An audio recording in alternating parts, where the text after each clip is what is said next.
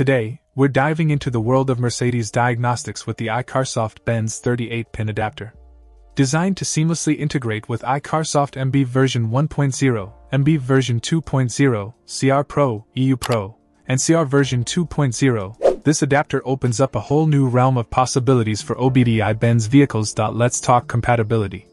This adapter covers a range of Benz chassis, including 107, 124, 126, 201, 202, 210, 208, 170, and 129, making it a versatile tool for Benz enthusiasts.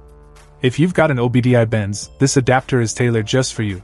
The star of the show here is the Benz 38 pin adapter, allowing a seamless connection between your Benz vehicle's OBDI 38 pin socket and your existing 16 pin OBD2 tool. It's the bridge you need to unlock advanced diagnostics and take control of your Benz's performance. Point one noteworthy aspect is the commitment to eco friendliness. The adapter is crafted from environmentally friendly materials, contributing to a reduction in environmental pollution, an aspect we can all appreciate. I in terms of application, this adapter is your go to solution for OBDI Benz cars.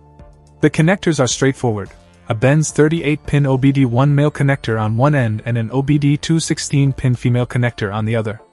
It's the missing link between your OBD2 scanner and your Benz vehicle.i in the package. You'll find the iCarsoft Benz 38 pin to 16 pin OBD1 car diagnostic adapter, a compact yet powerful tool that brings OBDI Benz diagnostics into the modern ERA.i in conclusion.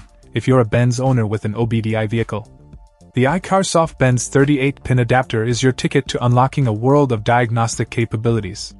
It's efficient, eco friendly, and purpose built for the Benz enthusiasts out there. Upgrade your diagnostics game today.